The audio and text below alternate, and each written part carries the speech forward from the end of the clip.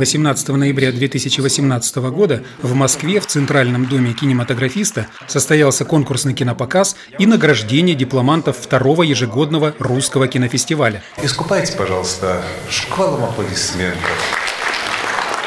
Конкурсный показ был открыт детским художественным фильмом «Времена детства», снятым в Екатеринбурге в жанре фэнтези. Ребят, понравился вам фильм? Да!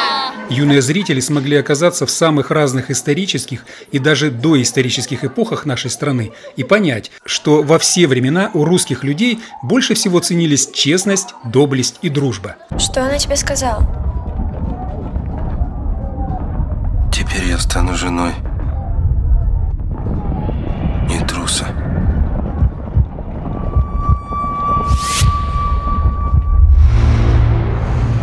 Заявки для участия в русском кинофестивале 2018 прислали авторы около 200 фильмов из России и других стран. Около 100 из них прошли конкурсный отбор. В конкурсе вместе с традиционными номинациями были предложены и номинации тематические, такие как «Русский характер», «Понять русскую душу», «Стремление к свету», «Отечественная история» и «Русская классика». Вот этот фестиваль для меня это вот, вы знаете, как будто после э, долгой жажды водички попить такой родниковой. Потому что эти фильмы, они про то, что вокруг нас.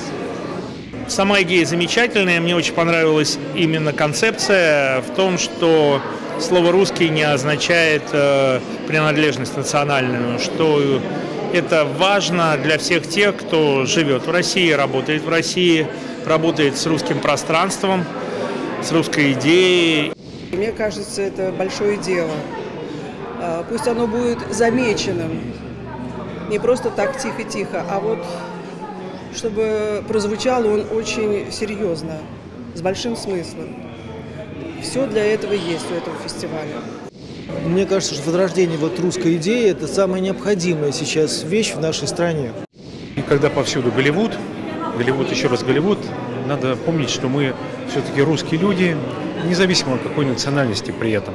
Русский кинофестиваль – это уже бренд, это уже приятно, ничего не надо придумывать. Русский, и это все, этим все объясняется.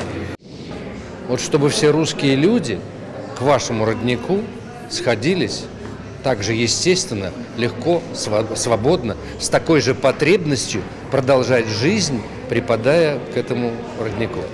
Одной из особенностей нынешнего кинофестиваля является то, что основная часть работ составляет авторское кино, которое очень индивидуальное, искреннее, содержательное и этим интересное. Я очень рада, что мой фильм отмечен здесь, на этом кинофестивале, потому что как раз это и про русскую душу, и про русского человека, и мне хочется, чтобы вот эти добрые примеры, про которые э, мои героев, про которых мои фильмы, чтобы они и нас, современных людей, тоже вдохновляли на то, чтобы делать добро.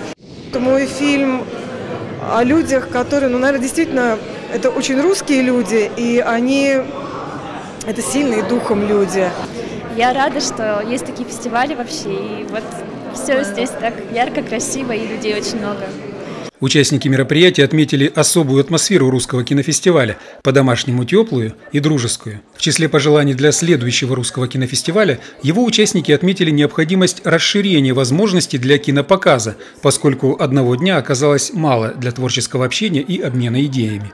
Незабываемо и трогало за душу. Вы знаете, атмосфера чудесная, трогательная, буквально домашняя. Здесь столько встретилось людей.